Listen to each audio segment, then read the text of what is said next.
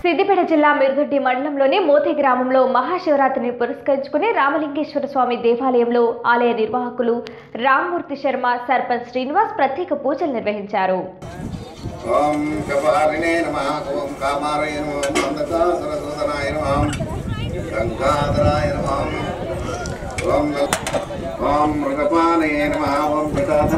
ఓం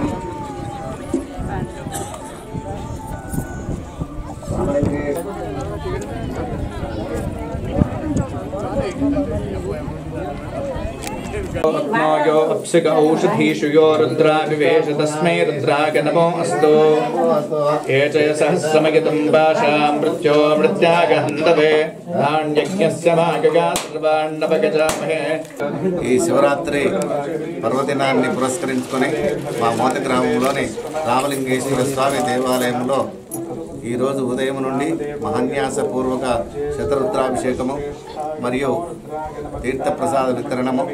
ఈరోజు అభిషేకాలు భక్తులందరూ కూడా వచ్చి అనేక మంది అయినటువంటి కోరికలతో ఆ స్వామిని కోరుకుతూ చాలా భక్తులు వచ్చి ఈరోజు అభిషేకాలు చేసుకున్నారు.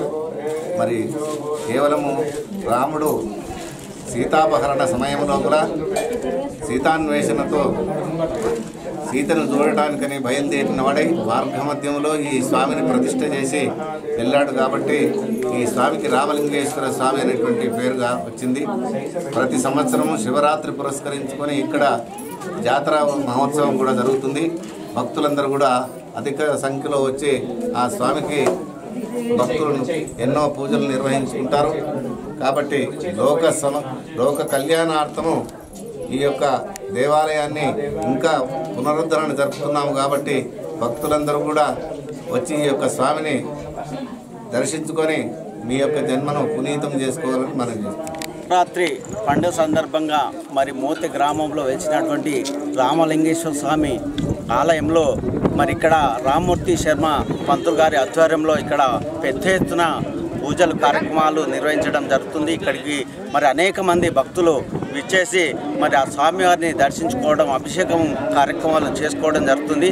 మరి వారికి కూడా మా గ్రామ పంచాయతీ నుంచి మేము సర్పంచ్గా వారికి ఎలాంటి ఇబ్బందులు జరగకుండా అన్ని పూర్తి వసతులు కూడా ఏర్పాటు చేయ చేయడం జరిగింది. మరి అదేవిధంగా మహాశివరాత్రి తెల్లారి జాతర అనేటువంటి కార్యక్రమం ఉంటుంది కాబట్టి మరి ఇక్కడ చుట్టుముట్టు వచ్చేటువంటి భక్తులు కూడా మరి పెద్ద ఎత్తున హాజరవ్వడం జరుగుతుంది. వారికి అందరు కూడా ఈ జాతరకు ఆహ్వానంగా తెలియజేసుకుంటూ మరి వచ్చేటువంటి భక్తులకు కూడా అన్ని వసతులు ఏర్పాటు చేయడం జరుగుతుంది. ఇక్కడ ఒక చరిత్ర అనేటువంటి ఉంది.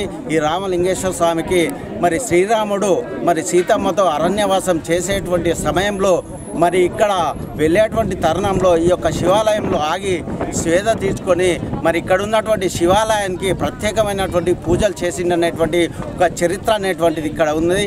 ఇక్కడికి వచ్చినటువంటి భక్తులు మరి కోరుకున్నటువంటి ఆ శివాలయ ఆ యొక్క భగవంతుని ఏదైతే మనసులో కోరుకుంటారో ఆ కోరుకున్నటువంటి మొక్కు కొంగు బంగారం అయ్యే విధంగా వాళ్ళకు ఐశ్వర్యాలు జరుగుతున్నాయి. వాళ్ళు వచ్చేటువంటి భక్తులు మరి ఐశ్వర్యాలతోని ఆరోగ్యాలతోని సంతోషాలతోని పంటలు సమృద్ధిగా పండించుకొని మంచిగా ఉండాలని ఆ భగవంతుని నేను కూడా కోరుకుంటూ వచ్చినటువంటి భక్తులకు అందరికీ మరి ఈ వచ్చినటువంటి భక్తులందరికీ నమస్కారాలు తెలియజేసుకుంటూ ఓకేనా?